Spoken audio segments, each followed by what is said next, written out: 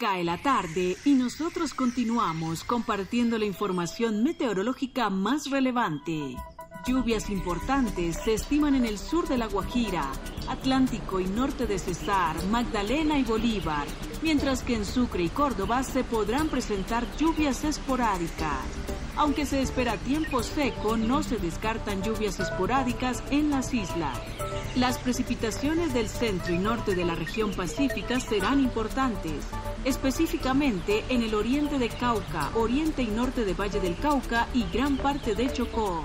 La tarde andina estará lluviosa, particularmente en el norte de Huila, Cundinamarca, Boyacá, occidente de Tolima, Antioquia y eje cafetero. Las nubes serán abundantes en la Orinoquía. En esta tarde las aguas podrían surgir en zonas de los departamentos de Meta y Bichada. La Amazonía estaría bajo la influencia del tiempo seco. Por lo demás se espera nubosidad variada en la mayor parte de la región.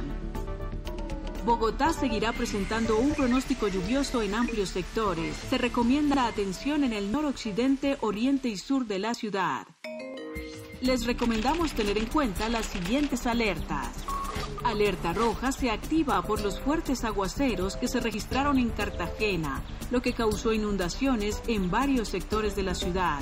Atención en Huila a la creciente súbita de la quebrada Las Mulas, a la altura del municipio de Campo Alegre. Alerta roja se emite en el Caribe, el Pacífico, los Andes, Meta, Arauca y Putumayo por posibles deslizamientos.